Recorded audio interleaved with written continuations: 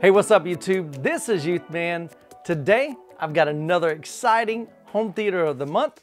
But before we get into the video, if you're into home theater, audio and video, hit that subscribe button and don't forget to hit that bell notification so that you'll be notified when the next video drops. All right guys, today I had the opportunity to visit Frank and Alissa's beautiful home as well as their incredible home theater. And so I'm excited to share with you all about it. It's a 7.2.4 Dolby Atmos, Klipsch, and SVS home theater. Now this thing is big. It's actually about twice as big as my home theater. So man, I'm super excited to share with you. Now before we get into the details of their home theater, I just want to share with you that Frank and Alissa both together built their home theater.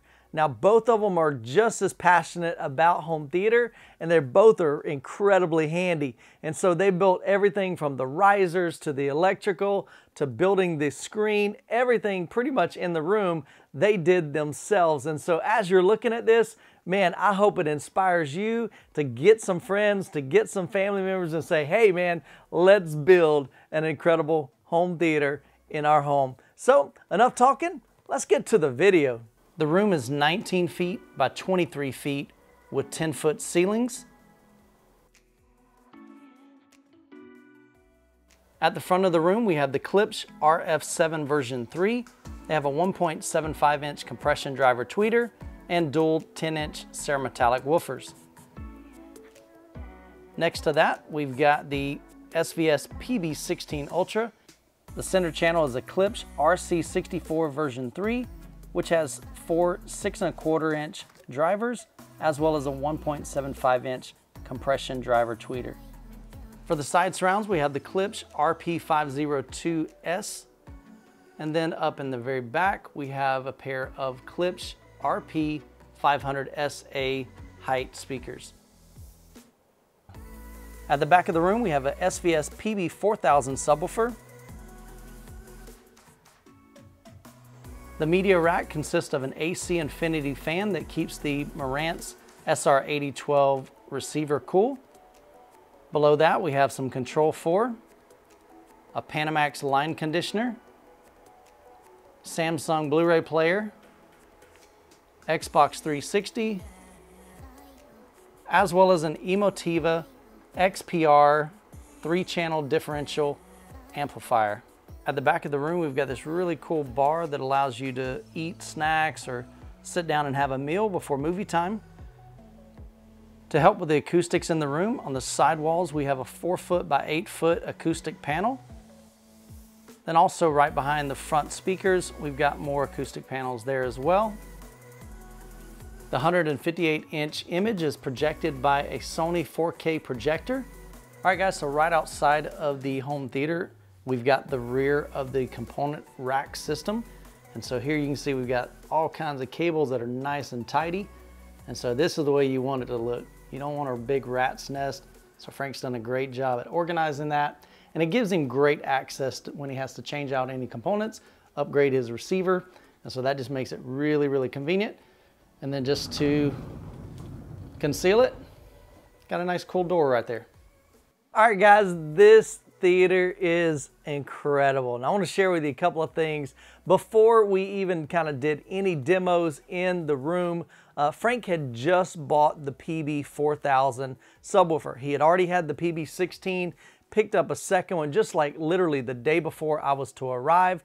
And he asked me if I could bring my laptop and REW and uh, the calibration microphone, which is a UMIK-1. And so when I got there, we introduced ourselves, hung out for a little while, and before we did any demos, uh, I basically just ran some frequency sweeps in his room, and we found that with one subwoofer, the PB16, it had this nasty uh, null. And so uh, actually it had several kind of just these deep nulls, which is a lack of bass. And then I showed him, uh, we turned on the second subwoofer, which was the PB 4000. We ran tests just by itself. It was a little better, but it was still kind of wonky. And so then we put both of them on and I ran REW and we got a much, much better frequency response.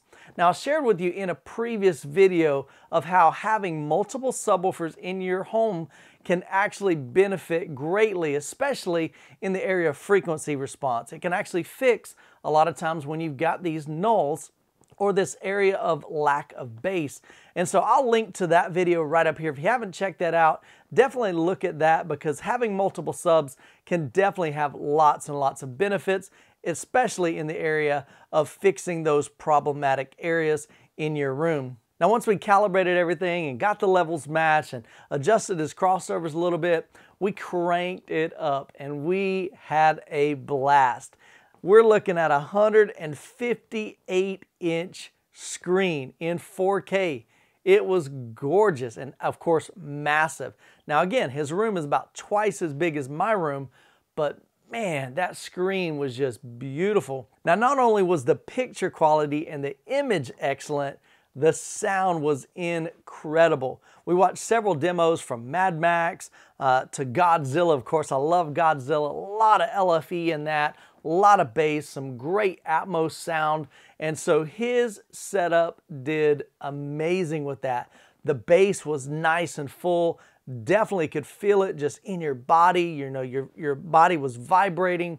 Um, the Atmos speakers. Now, I didn't mention that in the video because honestly, guys, it's just hard to videotape um, any kind of Atmos speakers, especially when you paint your ceiling black and then you paint the speaker grills black. There's really nothing to show. But Frank does have four in-ceiling uh, seat or Klipsch CDT 5800C. Uh, same type of speakers that I've got in my theater, and they sounded phenomenal. And so, man, from the, the comfy couches to the huge screen to the massive sound that the RF73s and the RC64, it just sounded beautiful. Now he had plenty of power with the Marantz SR8012 powering all of his surrounds and his Atmos channels and he had the front three just kind of rocking with that Emotiva XPA uh, 3 which is a differential amplifier. Just lots of lots of power and man it was clean, it was crystal clear and it sounded amazing.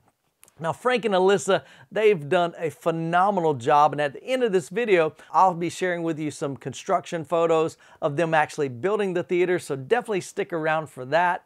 But man, it was just a great, great experience. And so my hope with these Home Theater of the Months is that you'll look at it and you'll see something that just kind of inspires you to do something in your home.